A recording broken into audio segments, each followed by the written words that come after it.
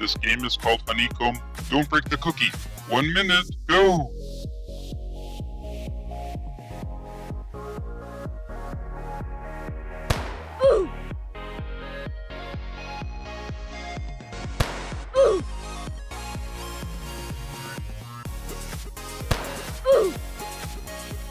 Subscribe!